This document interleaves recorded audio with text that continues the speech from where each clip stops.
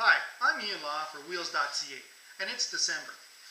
That means our editors are asking us for the best of 2012.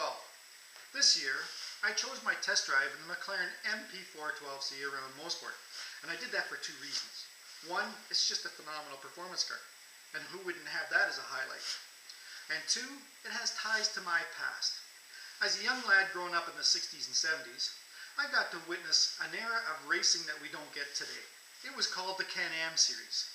The rule book was just about non-existent. It was design and build whatever car you could, stuff the biggest motor in it you could find, and go racing in it. And Bruce McLaren did just that. He was dominant in the Can-Am series back in that day, and he did it because of his ingenuity in engineering and his talent as a race car driver. Bruce McLaren became my hero. And I dreamt of the day when I could follow in his footsteps and drive such cars as a McLaren around a track like Mosport. Well, when I had the opportunity to drive a car that bears his name and take it to a racetrack, well, that definitely was a dream come true. I've put together a lap of that McLaren around the Mosport Driver Development Center for you to enjoy. So sit back, relax, and watch this.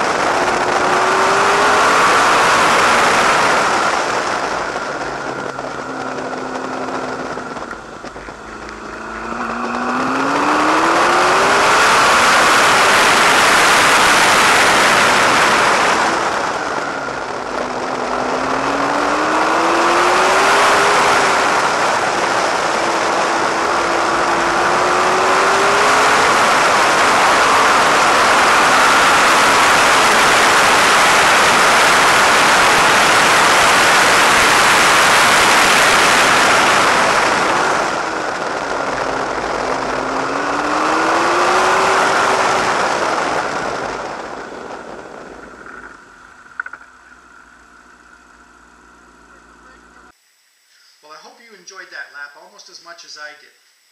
I'm Ian Law for Wheels.ca, wishing all our readers and viewers at Wheels a very happy new year and the best in 2013. See you next year.